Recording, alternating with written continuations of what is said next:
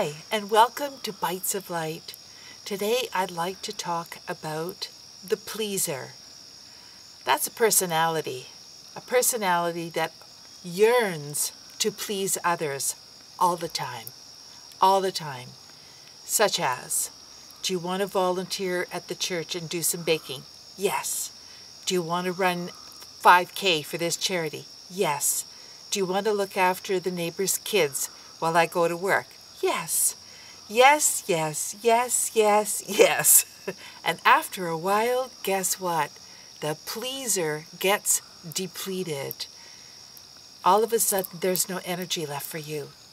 The person is so busy running out there, trying to please everybody, in hopes that everybody's going to like them, and then to find out that they are totally drained, that they don't have any energy left, and they're unhappy. And so, you know, you really need to look at this.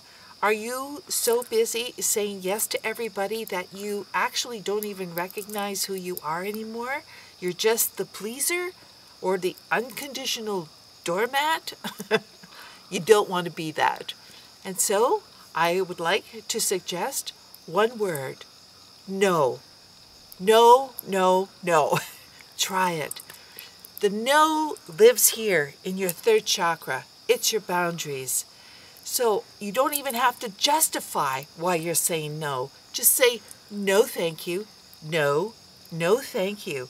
So that you can start putting the energy towards you, reaping the benefits of that energy that you have put out for everybody else, and you've left yourself in the back row. So put yourself first. Put yourself in the front of the line and start saying no to people or no to situations. And you will find that your energy will start to come back and you will be feeling stronger.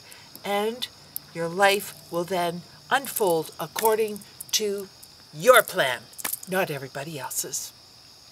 So you can catch me on Facebook, YouTube, or Phoenix Rising Healing Center and have a fantastic day.